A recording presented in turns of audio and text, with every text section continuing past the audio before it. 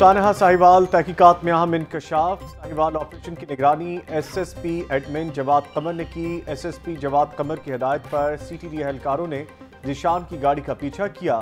پنجاب حکومت نے S S P admin کو معطل کیا۔ تاہم جے آئی ٹی نے تاحال بیان ریکارڈ نہیں کیا۔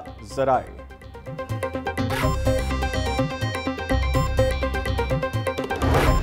پنجاب اسمبلی کا اجلاس، پیپلز پارٹی نے سانحہ ساہیوال پر سوالات اٹھا دیے۔ دہشت گردوں کو کیا ضرورت تھی کہ گاڑی کے ٹرانسفر لیٹر بناتے؟ حکومت سیکیورٹی اہلکاروں کو بچا رہی ہے۔ آج تو یہ حالات ہیں کہ پتہ ہی نہیں کہ گھر بھی جا سکیں گے یا نہیں۔ پارلیمانی لیڈر حسن مرتضی خطاب کے دوران آبدیدہ ہو گئے۔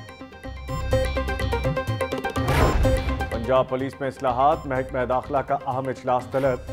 تھانہ کلچر تبدیلی سے متعلق سفارشات تیار۔ پولیس کو مکمل بااختیار اور قانون پر عمل درآمد کرایا جائے گا۔ پولیس افسران اور ملازمین کی غلطی پر جرمانہ اور قید کی سزا کی بھی سفارش۔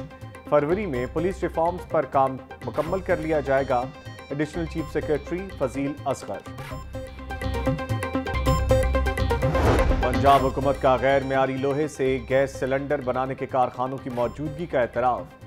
گوجرہ والا میں کئی کارخانے موجود ہیں۔ ہمارے پاس ناقص گیس سلنڈر بنانے والوں کے خلاف کارروائی کا اختیار نہیں۔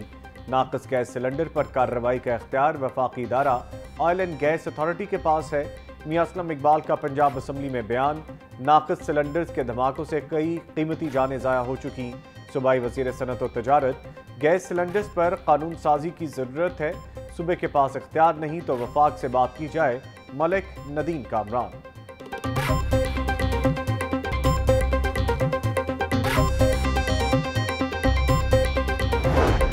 پنجاب حکومت نے نواز شریف کی میڈیکل رپورٹ میڈیا کے سامنے پیش کر دی۔ نواز شریف بالکل تندرست ہیں۔ گیارہ میں سے دس رپورٹس ٹھیک ہیں۔ بیرون ملک یا کسی ہاسپٹل میں داخل کرانے کی ضرورت نہیں۔ ڈاکٹرز نے نمک اور چکنائی سے پرہیز کا مشورہ دیا، مگر یہاں تو لنڈن کے ہوٹل سے اسپیشل ڈش آ رہی ہے۔ جیل میں شاہانہ پروٹوکول کے ساتھ رکھا گیا ہے۔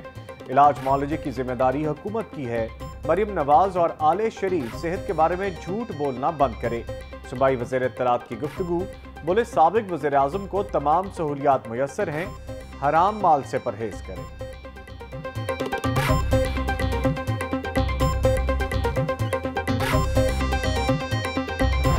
سرکاری زمینوں پر قبضے کا الزام، محکمہ اینٹی کرپشن نے سیف الملوک کھوکھر کو کل طلب کر لیا۔